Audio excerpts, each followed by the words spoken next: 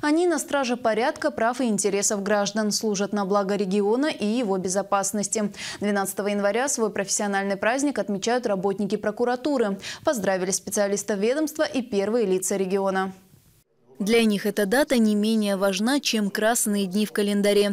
В профессиональный праздник сотрудники прокуратуры собираются вместе, чтобы подвести итоги и наградить отличившихся. Представители регионального ведомства не исключение. В прошлом году мы рассмотрели порядка 15 тысяч обращений граждан, в рамках рассмотрения которых было выявлено и устранено свыше 5,5 тысяч нарушений закона.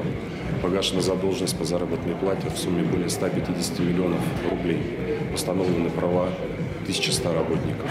По требованиям прокурора в связи с ненадлежащим оказанием жилищно-коммунальных услуг был произведен перерасчет почти 30 тысячам жителей Кольского Заполярья уделяется внимание вопросам защиты социально уязвимых категорий граждан, прежде всего инвалидов. В пользу инвалидов было взыскано более 15 миллионов рублей, которые они могли потратить на покупку технических средств реабилитации.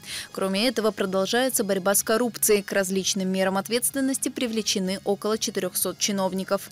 При этом ведется активная совместная работа органов власти, прокуроров и правоохранительных ведомств. Цели на 2024 год не менее важные. Больше внимания с учетом э, нынешней ситуации – это права участников СВО, их защита их семей.